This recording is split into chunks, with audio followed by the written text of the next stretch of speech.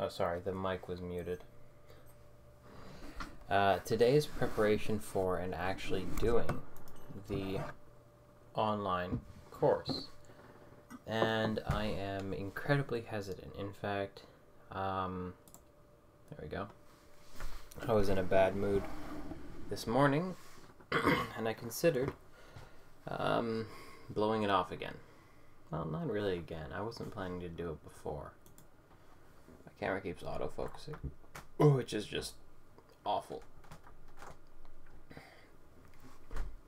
Anyway, there are a few things. Give me a second.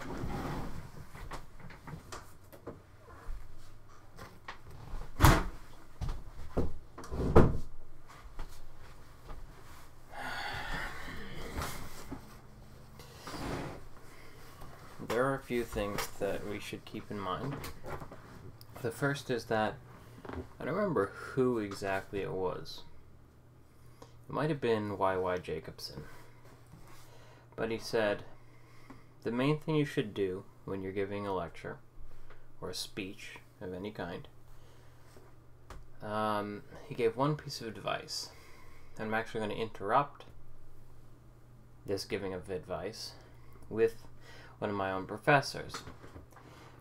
He, I think it was for a final project. We could either write an essay on um, a detective fiction piece, or we could write our own detective fiction piece. And he said, you know, among all the rules, the most important one is when you're writing a story, don't be boring. Okay, that's one. Two is Rabbi Jacobson said, Rabbi Y.Y. Jacobson, because his brother's also a rabbi and they have the same last name, um, said, it, it might have been Rabbi Orlofsky actually. Either way, the rabbi said, make sure your speech is entertaining. Not interesting, entertaining. I don't know if I can do that. I don't know if I can be entertaining about Ben Jonson. I don't know if I can make Ben Jonson entertaining. This is literature that was written four or five hundred years ago.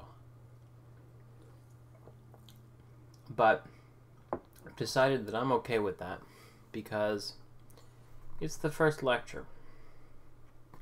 Um, it's not my first lecture ever. As some of you know, there's an episode zero where I talk about um, Samuel Johnson. I don't know if there's any relation, but they're separated by two or three hundred years. um, so that's the main thing is that I want it to be entertaining, but I don't know if I actually have that skill developed yet. The other thing is, I'm going to compile a textbook and self-publish it under my corporation because I actually own a corporation, which is very useful uh, for avoiding liability.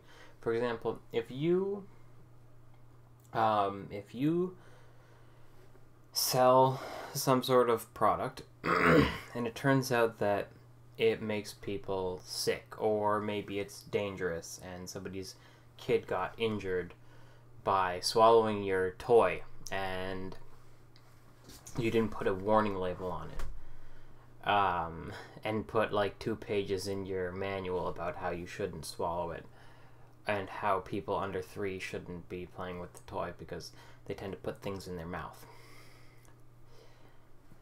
If you uh, I think it's called sole proprietorship. Basically, if you didn't start a business and you were just selling it as an individual, if that family whose child got injured sues you, they can take your house, your investments, your car, right, your possessions. Um, and so that's the, the issue with sole proprietorship. But if you have a corporation it stops at your corporation. They can sue your corporation into the ground but they can't touch any of your personal assets. That's one of the primary protections that starting a corporation grants you. Um, so, and I renewed my corporation's details last year. I moved my office from my university apartment, which I don't live in anymore, to uh, my grandmother's place, which I also don't live in anymore. Go figure, I might have to update again. But I'm going to publish the textbook under that. And the joy of this is that um, my course will have a textbook that was compiled by me, but not written by me. And what this practically means is that I will not be putting anything that is not in the public domain in there. Um,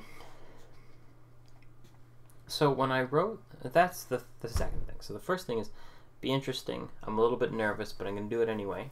And I might redo episode one at the end, just so that it's uh, when I get better at making videos. Um, they'll they won't see my worst video first, kind of thing. Um, so be entertaining, not just interesting, entertaining. Two is I'm going to make a textbook and publish it under my publishing company. Well, it's just a general company, my arts company. Three, I forgot because I was listing the first two. That sucks.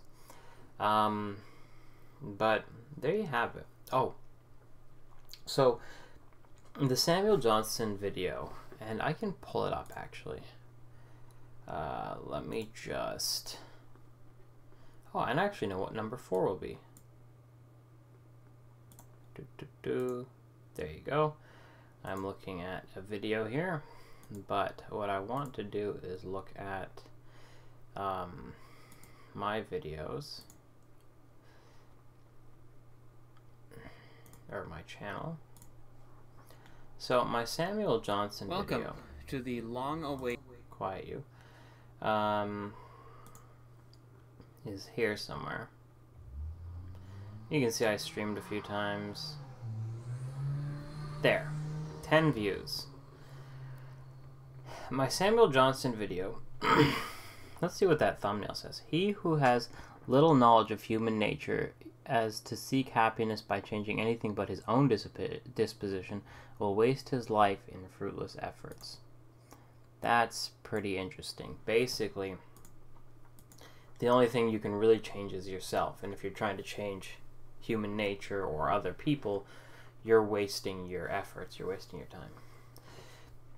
In that video, I took the time to read in its entirety every single piece that I was going to talk about. And I don't mind that, but um, if you saw that video is an hour and 20 minutes, and I actually cut out like half an hour of um, other pieces that I read, and then even sections of pieces that I kept in.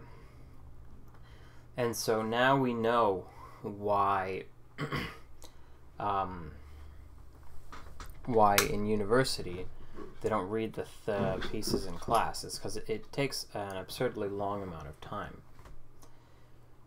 Something like it's really harsh on my my uh, face there. Um, and I think what I'll do is I'll have two versions. I'll have the long version where I read everything, and I'll have the short version where I either read sections or I cut out certain pieces. And then if I get really clever, I can hide the long version behind a paywall.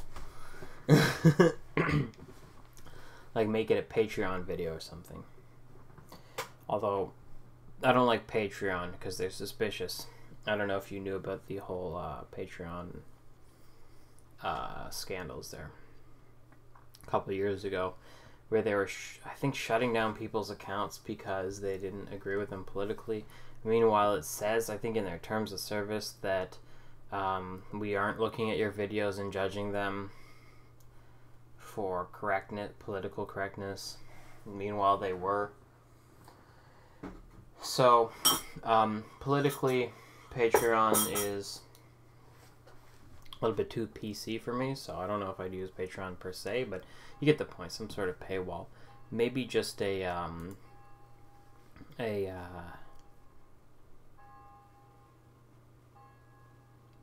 if you turn up your volume, you can hear the bell.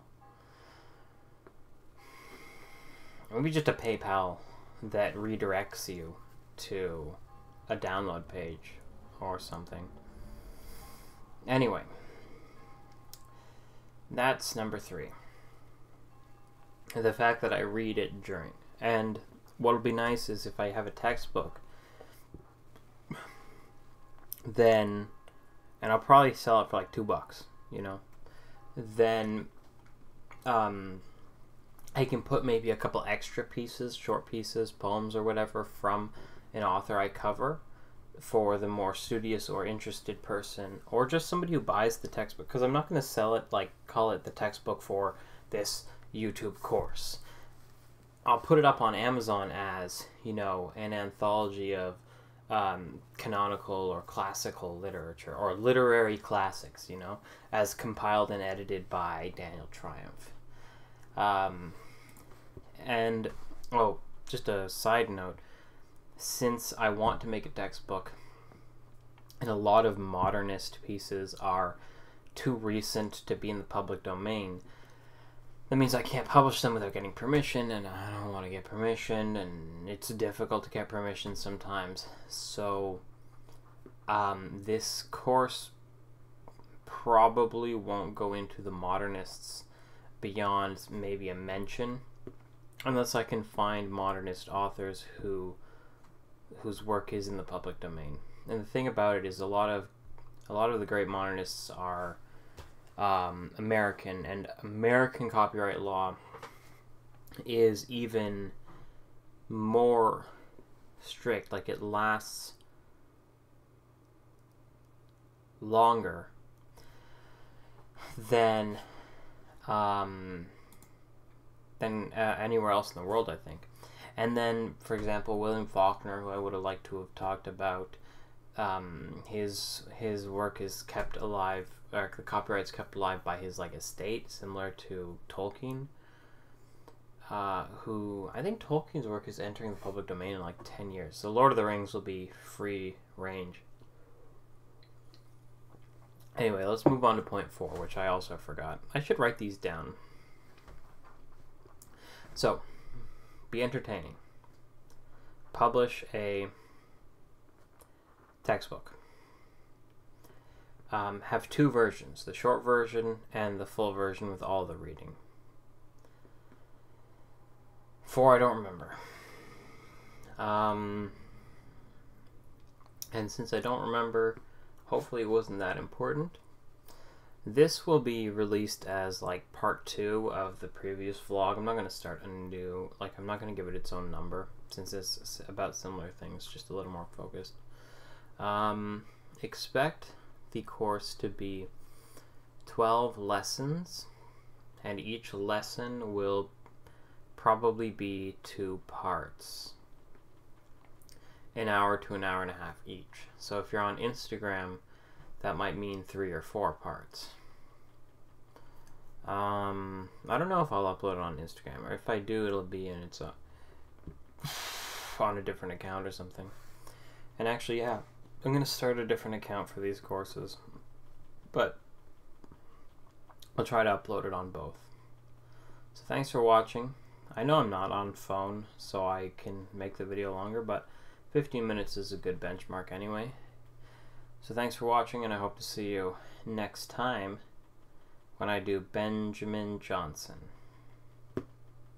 the great Renaissance poet and playwright.